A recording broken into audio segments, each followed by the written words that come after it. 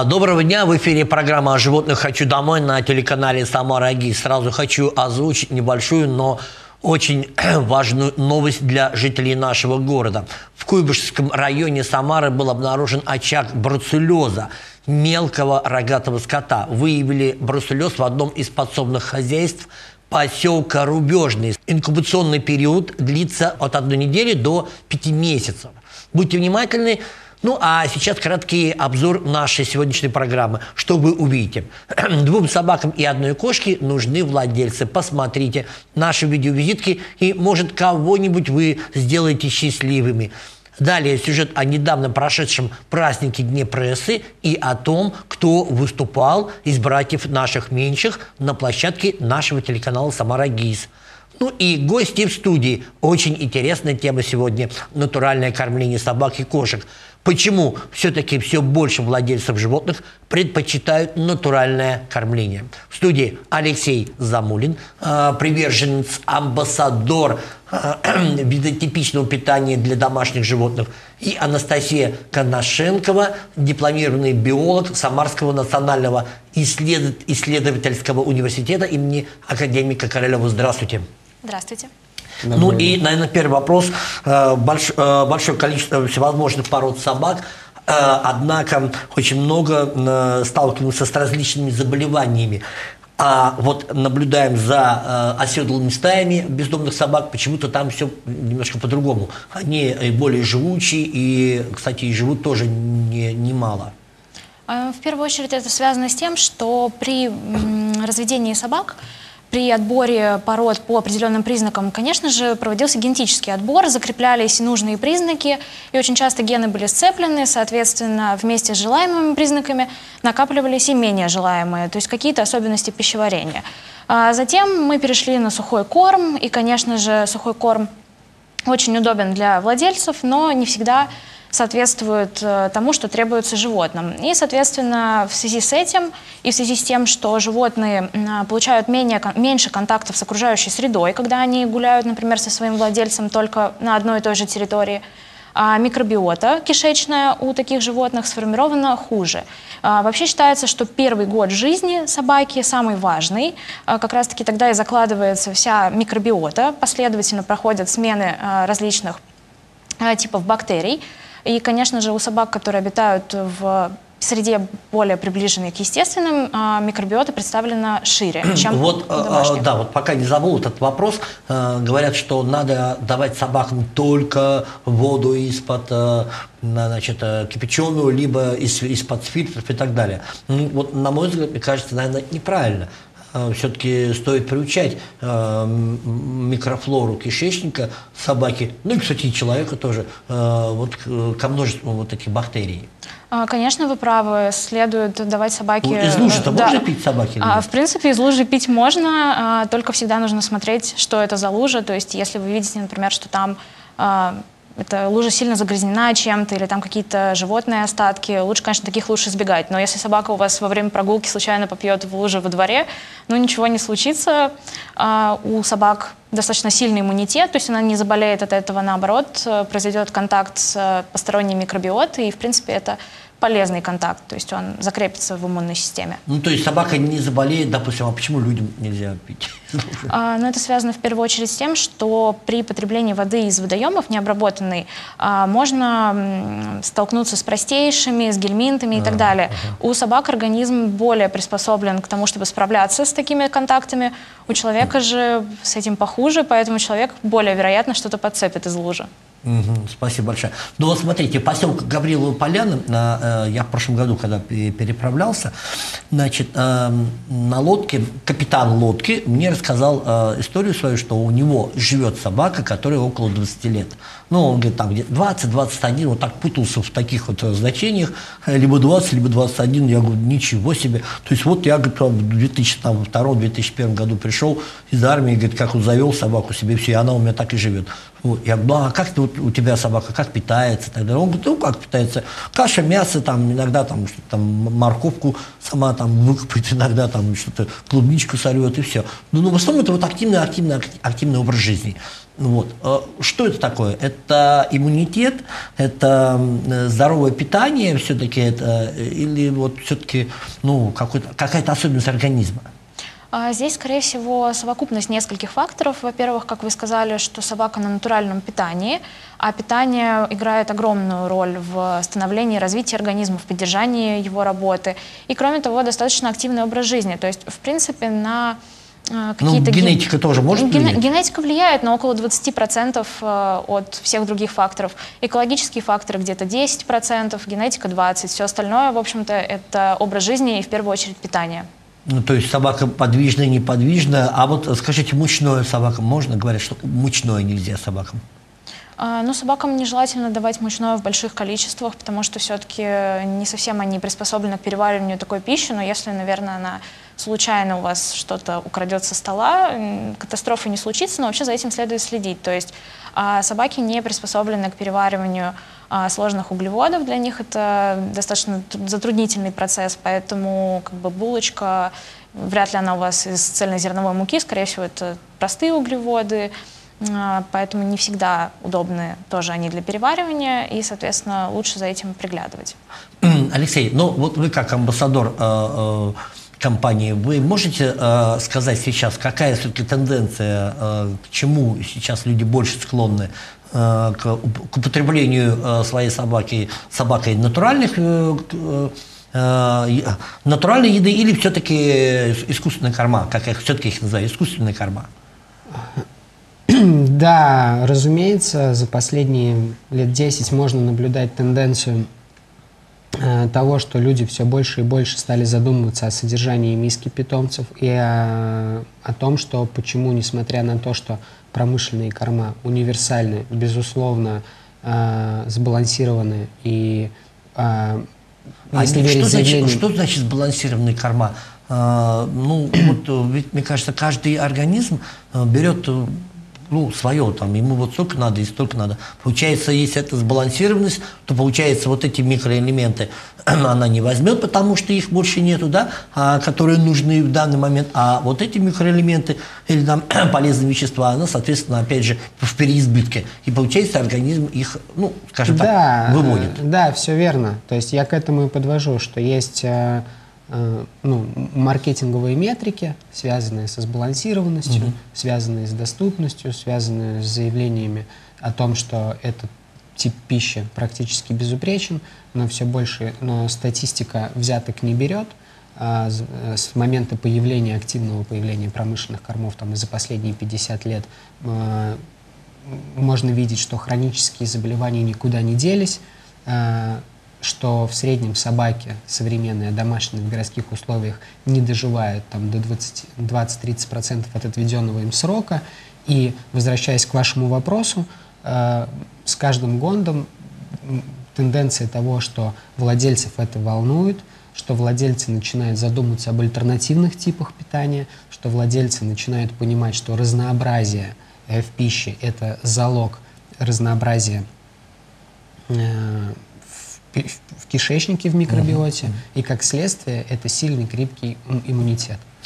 Большое спасибо, но я э, вынужден вас э, прервать, сделать небольшую паузу в нашей беседе и посмотреть э, видеовизитки. Это информация о собаках и кошках, которые находятся в приютах или на руках у волонтеров, и которым ищут срочно владельцев, хороших владельцев.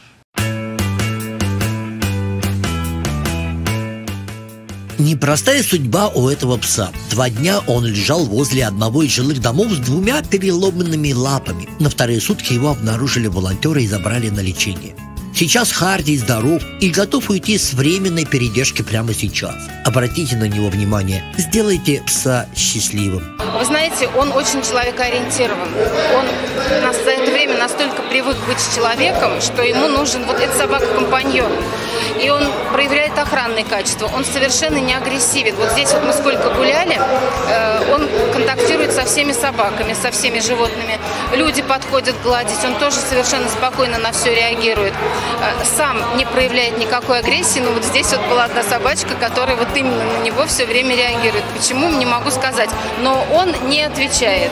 То есть он вот, ну, просто смотрит, не делает попыток огрызнуться или еще что-то. Сам он очень терпеливый, потому что вот когда вот мы его нашли, у него были, конечно, дикие боли, даже врачи в клинике удивлялись, как он все это терпит. Вот, поэтому мы дали ему кличку Харди. Обратите внимание на этого замечательного пса по кличке Харди. Сейчас ему около трех лет, и он очень быстро привыкнет к вам. Обращаться 8 927 737 11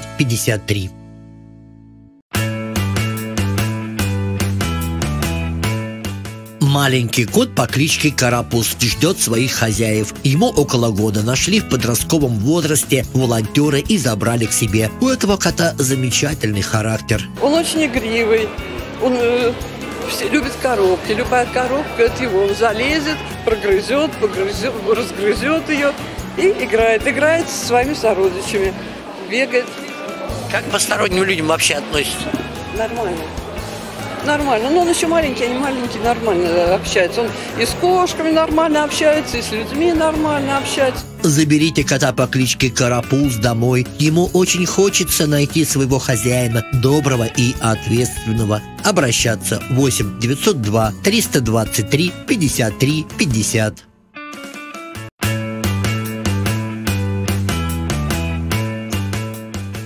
Посмотрите на эту красивую собаку. Ее зовут Ника, ей около трех лет. В настоящее время она проживает в приюте, находится под присмотром волонтеров, которые ищут ей своего хорошего, доброго владельца. Ника очень хочет уйти домой из приюта. Она достаточно э, адаптирована к человеку, то есть она не проявляет агрессии, она стерилизована, наша собака.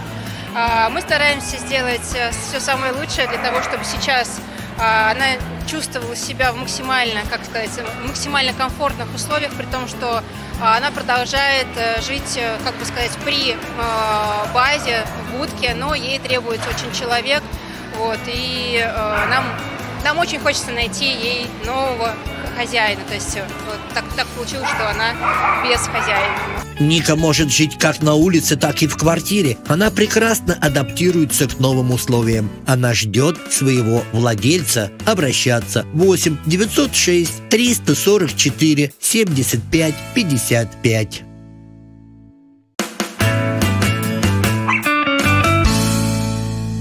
А, так, ну и вот, вот далее в продолжение, опять же, вот этой темы, да, а, к чему больше склоняются люди, к питанию э, сырым мясом или вареным мясом? А... Больше к зерновым или больше там, э, скажем, э, ну недавно я там прочитал, что обязательно должна быть капустка, брокколи. Про, так ли это? Ну, нет, конечно, брокколи. Вообще, э, понятие обязательности того или иного ингредиента, оно очень э, субъективно. Угу. Объективно можно говорить о разнообразии. Э, о том, чтобы была и капустка брокколи, и морковка, и сырое мясо, и в каких-то определенных случаях и особенностях, связанных, опять же, с э, индивидуальным организмом животного, это может быть и подваренное мясо.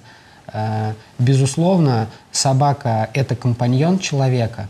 Безусловно, надо уважать как привычки и физиологию собаки, так и учитывать свой быт человеку.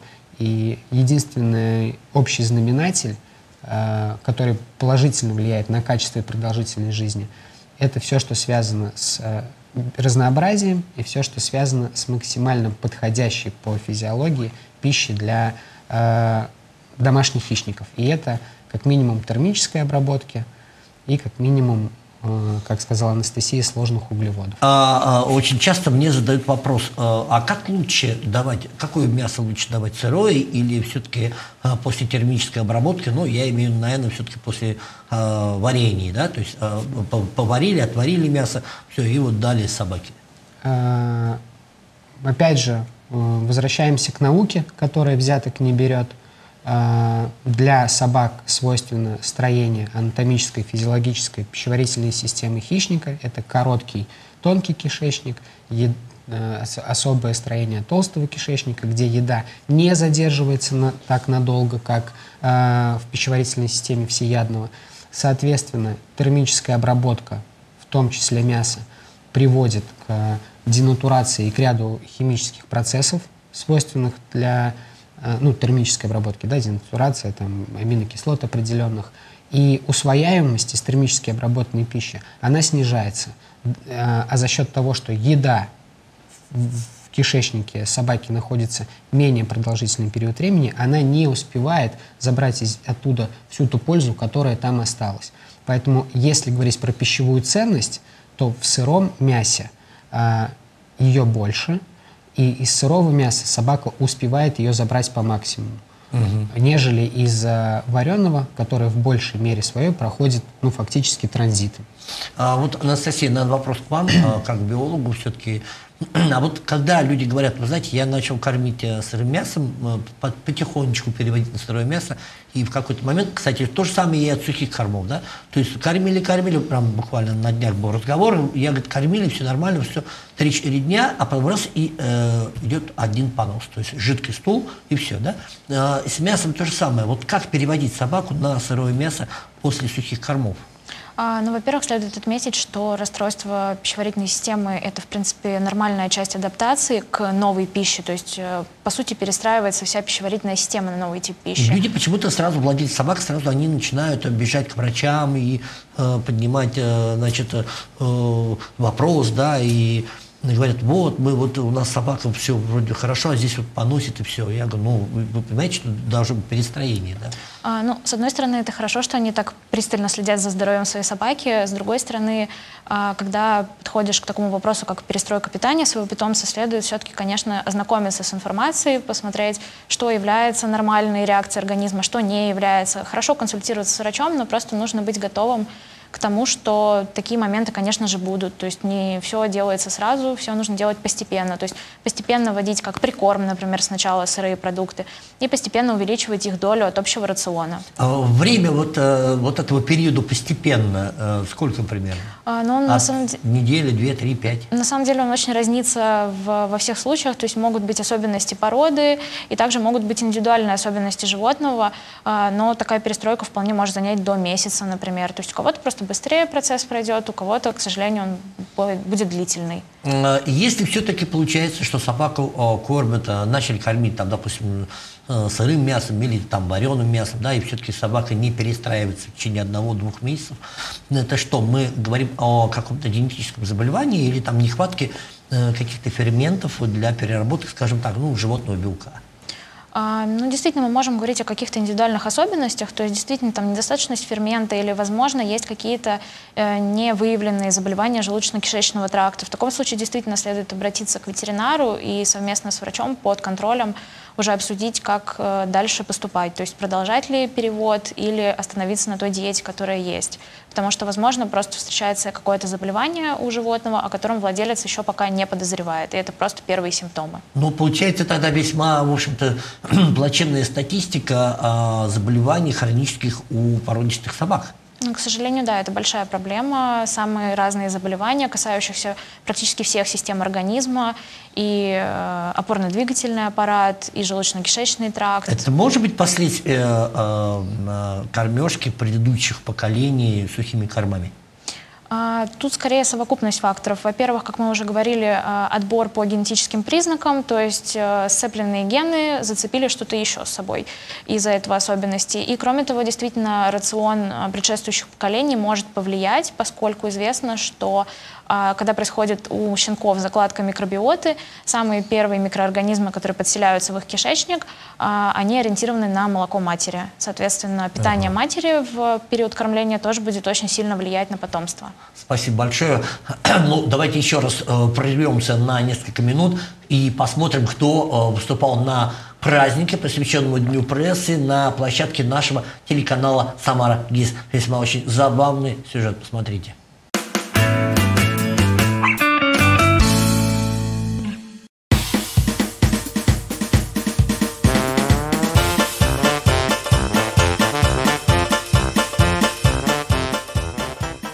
Как оказалось, и Йорки, Пудель, Мопс и другие породы собак не только могут сидеть на диване, но и активно принимать участие в жизни хозяина. Свои способности показали собаки на танцевальной площадке телеканала «Самарагиз». Первым на импровизированный подиум парка Струховский сад вышел пес по кличке Даня. И, как показывает практика, возраст, а Дане 5 лет, оказался не помехой. Почему вдруг решили вот заняться фристайлом?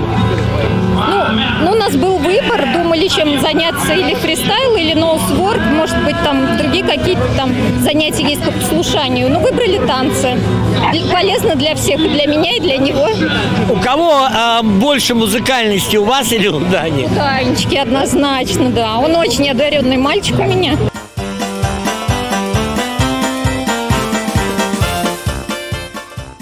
Чуть больше года, как вошел в танцевальный мир собак мопс по кличке Рич. А ведь многие сомневаются в способностях этой породы танцевать.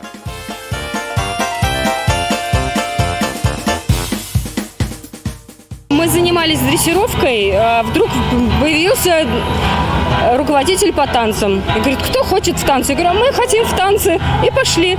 Ну, правда, собака Мопс это не самая танцующая, скажем, собака. Это такая на подумать.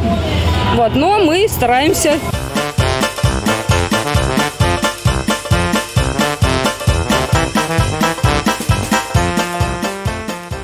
Кстати, за год с небольшим Ольга с Ричем успела принять участие в соревнованиях по фристайлу и завоевать дипломы и войти в пятерку сильнейших. А вот сюжетную линию а, танца кто придумывает и как вы подбираете Ну, музыку? на- наш тренер Ирина Митрофанова. Ну, естественно, все движения мы обра- обрабатываем вместе, придумываем. Чтобы выйти и выступить перед публикой, нужно иметь в запасе хороший танцевальный багаж и опыт. У новичков не всегда получается его показать, ведь на собак тоже действует психологический фактор, обстановка и количество зрителей, и в конце концов погода. А вот бывалые и опытные танцевальные дуэты могут симпровизировать на танцполе. Сегодня у нас французская импровизация. Нам сказали, нужно выступить. А, мы подумали, такие, говорю, импровизацию можно? Можно. В общем, мы даже не репетировали, но под любимый французский мотив мы просто станцуем. А сколько вот готовится номер обычно? А, полгода не меньше. Да, в среднем а, два соревнования в году, таких крупных. И к каждому соревнованию нужно готовиться где-то полгода, минимум. Четыре участника, четыре разных образа у собак и самих владельцев. С финальным номером вышла Елена Лаптева с напарником породы Колли и показала танец под названием «Звездная пара».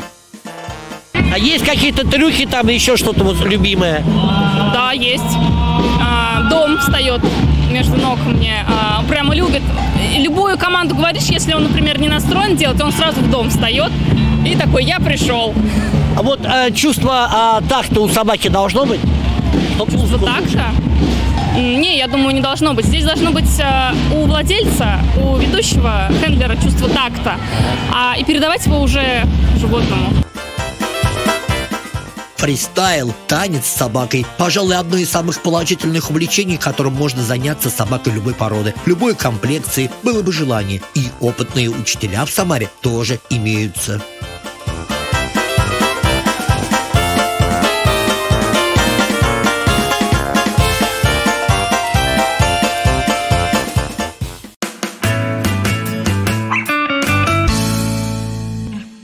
Вот такие замечательные а, собачки порадовали а, вместе со своими владельцами гостей праздника. А мы переходим к нашей теме разговора. Ну, а, в принципе, в принципе а, вопрос, а зачем придумали сухие корма? А, В первую очередь это вопрос удобства, потому что с натуральным питанием нужно, во-первых, как-то хранить продукты э, при правильной температуре, во-вторых, э, нужно, например, там, э, чаще мыть миски, посуду и так далее. Сухой корм же удобен тем, что для него не нужно каких-то специальных условий хранения, не нужен холодильник, поставил на полку пакет с кормом и живешь, радуешься. Поэтому, наверное, это был вопрос больше удобства, потому что вообще идею сухого корма подглядели у моряков, когда у них был сухой паек, который не портился длительный период времени.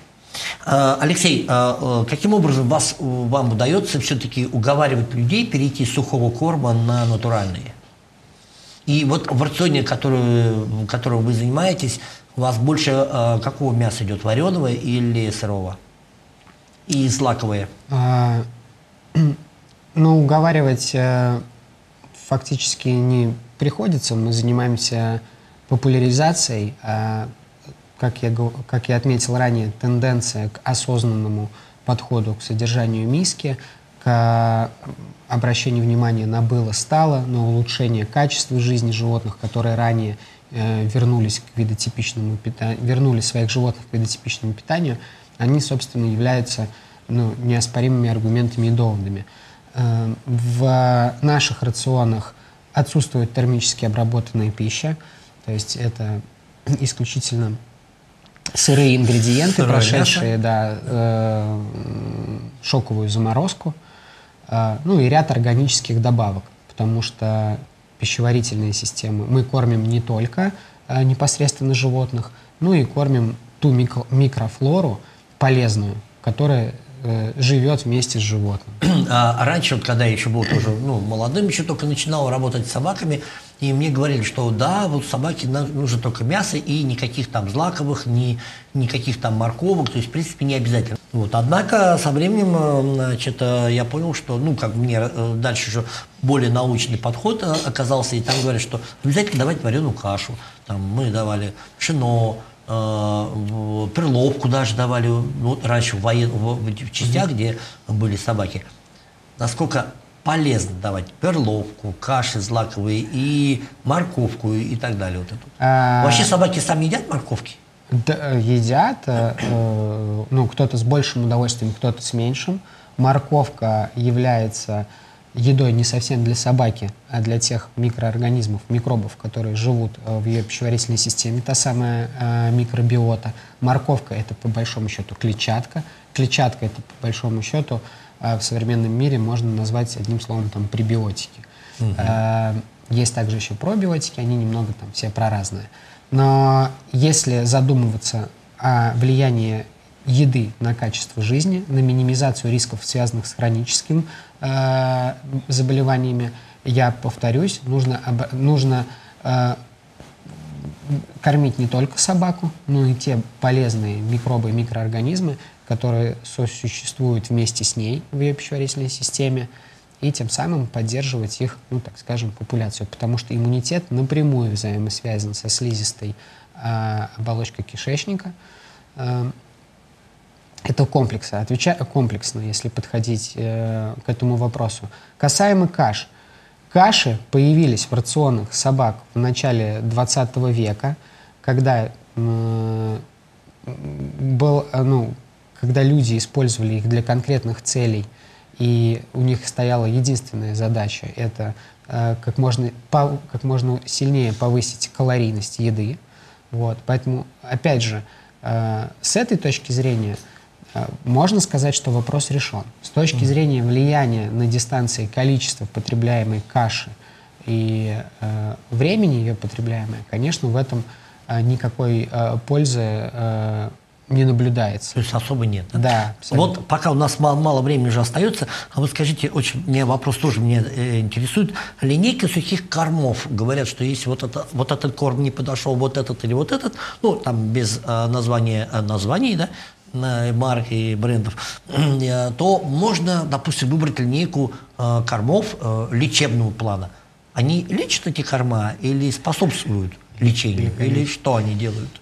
А, Тут очень вообще интересный вопрос. Это связано с тем, что а, если у производителя кормов есть отдельная линейка, нацеленная на лечение каких-то заболеваний, одного, а то и нескольких разных, то это говорит о том, что, во-первых, у популяции собак хронические заболевания, и это не единичные случаи, а массовые случаи. И второй момент, если экономически э, производитель э, может себе позволить держать отдельную линейку лечебного корма, то вопрос в полезности самого корма обычной линейки, то есть не усугубляет ли он состояние животных, когда владелец кормит несколько лет обычным кормом и затем переводит на лечебный, потому что обострились какие-то заболевания. Спасибо большое, очень интересная беседа. И так, общем, к сожалению, наша программа подошла к финалу. Действительно, очень было интересно. Это и тема разговора такая очень интересная для всех, для многих людей, э, кто волнуется о питании своей собаки. Но я думаю, что мы обязательно еще раз вернемся. Э, ну, а в заключение хочу призвать всех владельцев собак и кошек, э, и других животных относиться ответственно к братьям нашим меньшим, не проходите мимо жестокого отношения к животным, делайте замечания или обращайтесь в защитную организацию. Ну а мы говорим вам до свидания и всех э, с практически наступившим летом мирного неба над головой.